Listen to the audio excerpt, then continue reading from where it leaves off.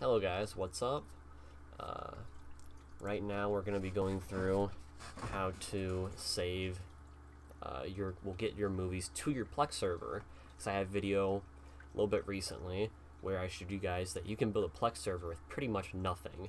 And in this video I'm going to show you how to actually get your movies copied from the disk and then you can move them to the Plex server. So what you need to get is you need to get MakeMKV. This will copy your movies uh, and put them into a MKV file format. So if you guys have any issues with uh, MKV file formats, you might want to think about that beforehand, but in my experience on Plex Media Server, I'm able to watch the files on there that are MKVs just fine. Um, if you have a Synology disk station, the Video Station app on there, it doesn't seem to like uh, MKVs, so that's something to take into account. Although, I think if you have Plex Media Server installed on your Synology disk station, it might work on there just fine. I don't have a newer Synology, so I can't test that for you guys. But anyways, what you do is you put the disc in your Blu-ray or DVD drive, which if you guys are getting Blu-rays, you will need to get a Blu-ray drive, and I'll leave the link on uh, in the description below to show you guys what Blu-rays are compatible with MakeMKV. So first thing is you put your disc in, and sometimes when you put your movie in, it will have a whole list of like uh, the movie title, and it will include like a chapter's number next to it, and it'll have a whole list all the way down. Kind of like how you know all these uh, lines right here. It'll have all these lines of just the movie title and a chapter count and a file size. So if you guys have a whole list of these, don't select all of them. Deselect all of them, go to the right, find, it'll be typically the biggest file size, and it'll have a high count of chapters. So high count chapters, high file size, and you will select just that movie. And in here you can deselect some of these things you don't need, like if you don't need Spanish, French, that type of stuff, or whatever these languages uh, you have in your list, you don't have to keep them. You can also get rid of subtitles if you don't want them as well. That can save a little bit of file space if you want, I think. It's not a big deal if you leave them there though. But you'll select the one file that, like I said, has high chapters and high file size. And you will go up to here and you'll do make MKV. And this will, it's time consuming process. We'll ju I'll just show you this real quick. Uh, I'm not going to go all the way through on here. I'm just going to bring you to Handbrake next, but it will start reading it.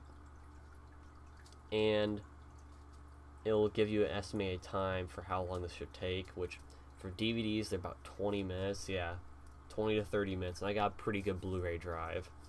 Uh, if you guys uh, do Blu-rays, they can take like 40 minutes even. It just depends on what disk drive you have and its speed, but it'll take this amount of time to copy it, so there's that.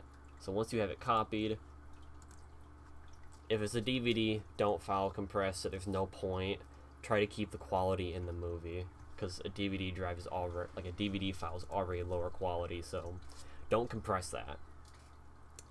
Um, and then what you can do is you can copy it uh, to your server, or what you could do actually is you can install this program on your server and run it on there, so you don't need to transfer stuff over to it. That's a good idea as well.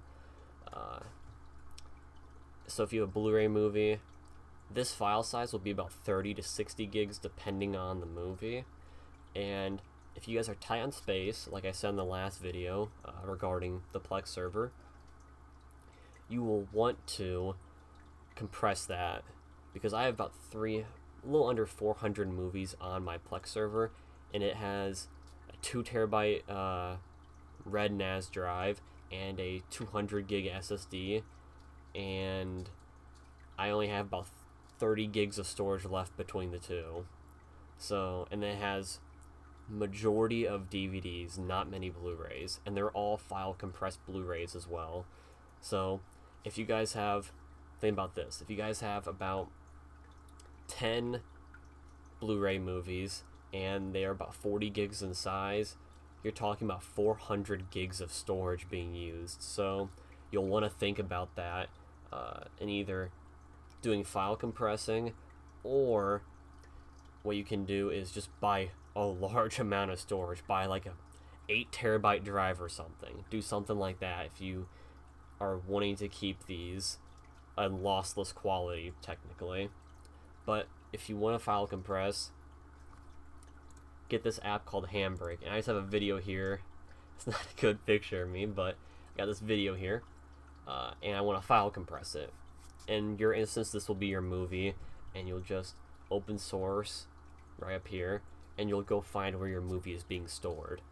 And this is uh, this is quite demanding so you want to do this on probably not your Plex server for compressing because your Plex server unless it has a really good CPU it's going to take a long long time to compress I have a Ryzen 5 2600 clocked at 4 gigahertz and it's water cooled so it won't thermal throttle ever and when I did my Blu-ray movies at its preset I had it set to, it would take about an hour.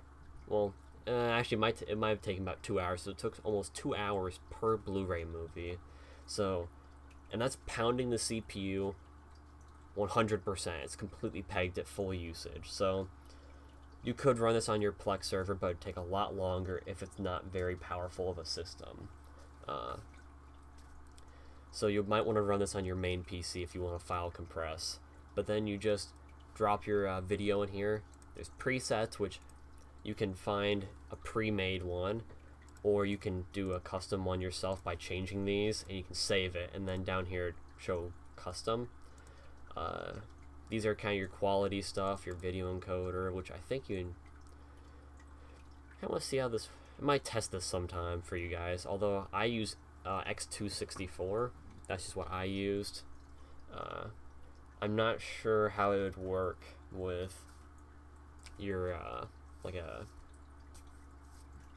a graphics card, but I might try that some other time.